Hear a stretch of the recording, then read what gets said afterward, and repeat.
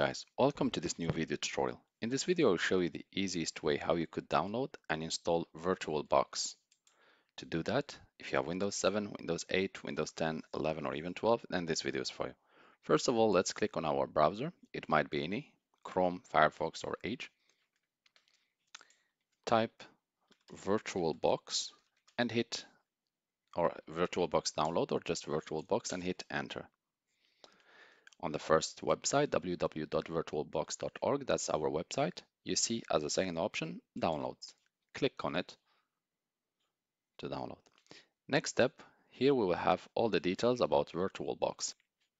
Under VirtualBox 7.0.6 platform packages, you will have different kind of packages for Windows computer, MacOS computer, developer preview, Linux distributions, Solaris, etc. So I will choose for Windows. You can choose the one which suits you, but I will take the one for Windows. Once you click on it, the download should start automatically and I will be able to install it soon. So I will pause the video here until the download is over and I will show you which button to click next. So now the download is completed. Let's click on the executable file to run and let's reduce this we should see the installation commands appearing.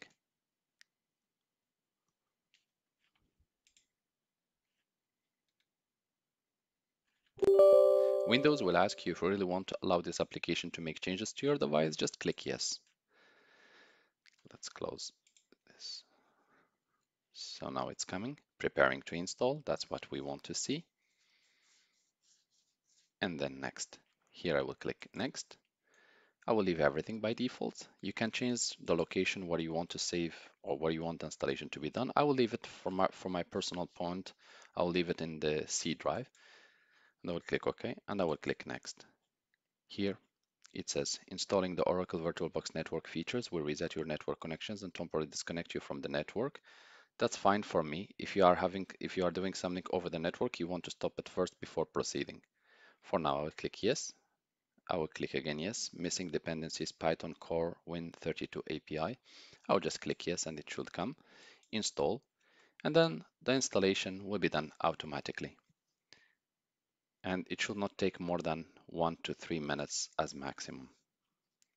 I will pause the video here and once done, I will show you what is the next step. So as you can see, I have here installation done, click finish.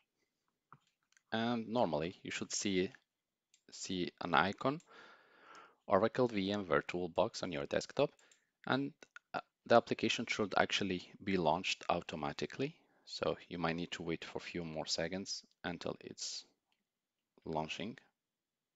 As you can see, it automatically launched. So here I will go to help and I will check about VirtualBox and VirtualBox graphical user, blah, blah, blah. Everything should, should be fine now. And here we have our VirtualBox installed and ready to be used. Thank you guys for watching and talk to you soon in a new video tutorial.